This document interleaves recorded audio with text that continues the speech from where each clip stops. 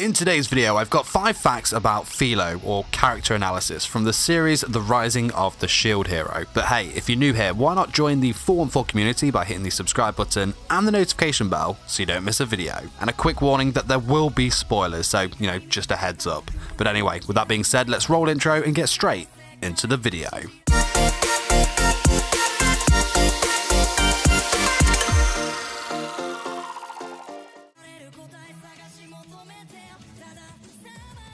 So, Filo is a Filolial that hatched from a monster egg purchased from the slave trader by the shield hero Naofumi Iwatani in episode 5 of the anime. Because of the monster tamer shield owned by Naofumi, Filo grew from a chick into a very large Filolial queen in like no time at all. And I'll get into more detail about her different forms later, but Filo's current Filolial form, or beast form resembles that of an owl, rather than the ostrich-like appearance of her previous forms. Her feathers are all mostly white now, apart from a small patch on her belly. Also, some of the feathers on her wings still contain the pink colour her feathers had in previous forms. And as we all know, Filo has the ability to transform into a human girl. In this form, she has the appearance of a young girl who has blonde hair, blue eyes with feathered wings on her back. She also wears a white dress that has a blue bow on her chest that is made from magical crystal threads that won't break when she transforms. Now, as for Filo's personality, I can only really describe it as unique. She has a very childish demeanour, very loud, very over the top, and can completely switch off if events around her do not interest her. She, of course, is what we refer to as a bottomless pit, and this is in reference to her eating habits. She can eat and eat and eat, but has zero table manners. She will eat absolutely anything. Once she even looked at one of her own kind and thought it looked tasty. Crazy. And of course, being a Filolial, she is attracted to anything shiny and will collect as many of these items as she can, though most of her so-called treasure is actually just trash. But as well as this, Filo is a very talkative person, though most of the time she speaks at like a million miles a minute, and none of it really makes sense to anyone else. And, you know, it's quite funny really. Amongst her kind, she's actually considered smart compared to the others, though she is actually, as, you know, we all know, pretty much an airhead. She doesn't have the greatest common sense or understandings of culture and its behaviour. She's also been known to doze off while others are talking about things that do not interest her. Bless that short attention span of hers. And, you know, final point on Filo, though not the smartest, arguably her strongest quality is her amazing judge of character. It's crazy how she can just see through others' fake intentions. A fun one to watch is how she always gets in between Raphtalia's plans of seducing Naofumi, simply because she knows Raphtalia's true intentions. And you know, most impressively is that there is a character coming up in the future that Naofumi decides to put his trust and faith in simply due to the fact that Filo trusts them fully.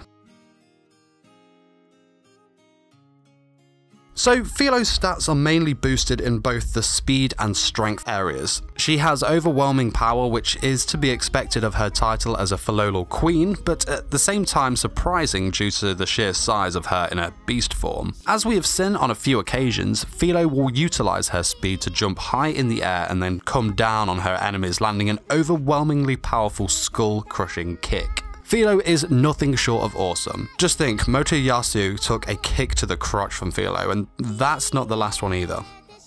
Damn. She has a pretty good understanding of magic and mana, or chi in this case. Over time, as she has gained more battle experience and leveled up, she has been able to accelerate her speeds even faster than normal due to the utilization of magic, to which hers is of the wind attribute. And now, of course, she does have one major disadvantage, and I'm sure you can guess what that is. Yes, due to Filo's size, it does make dodging and avoiding enemy attacks very, very difficult. This is where Naofumi comes into things, I guess. And just a minor spoiler, so skip ahead to the next fact if you don't want to be hit with it.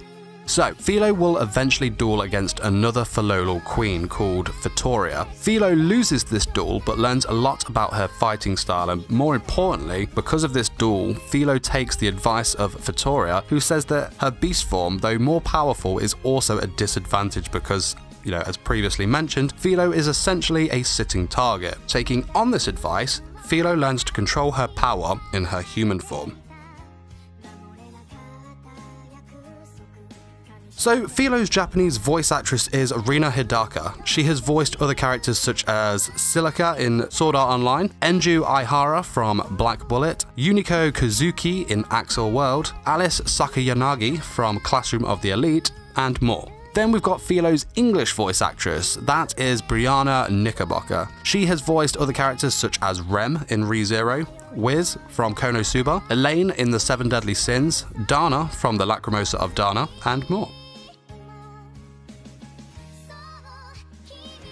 So like mentioned earlier in the video, Filo came from a monster egg purchased by Naofumi. Due to his monster taming shield he gained from feeding some of the eggshell to the shield, we saw Filo grow pretty rapidly. On hatching, Filo was a pink small Filolial chick that would sit on top of Naofumi's head, and this actually reminds me of Asta from Black Clover. Was it a nod to that series?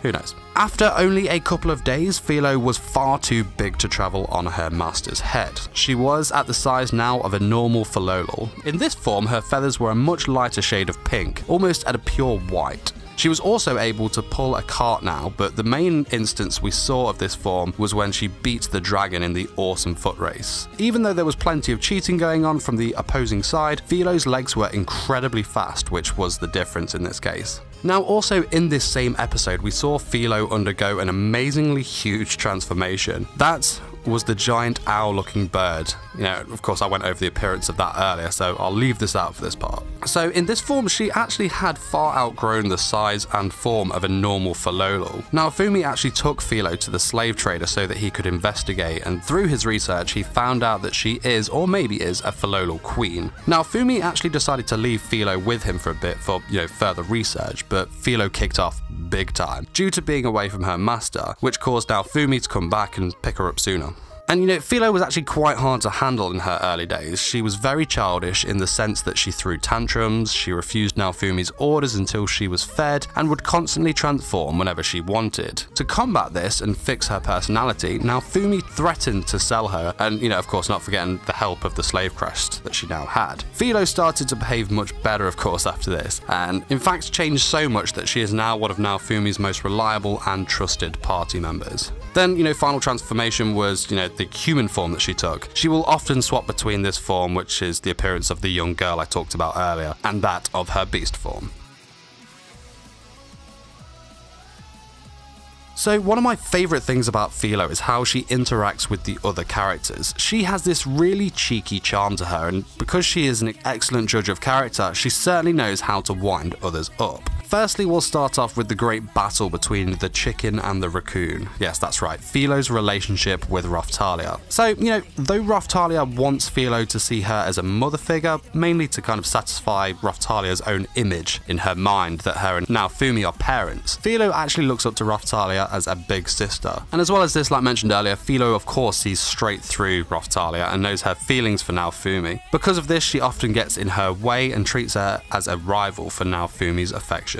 Talking of Naofumi, Filo loves her master. Even when he makes decisions that, you know, are quite questionable, Filo will stand by him. She is so fond of Naofumi that Filo thinks of him as her property and has told Raphtalia that she will not lose to her. But of course, it's not all love and care. Filo hates the spear hero Motoyasu. Ever since he called her lame and a fat bird, Filo has always made an effort to kick him in the crotch on every meeting. Poor guy, but my god, does he not deserve it.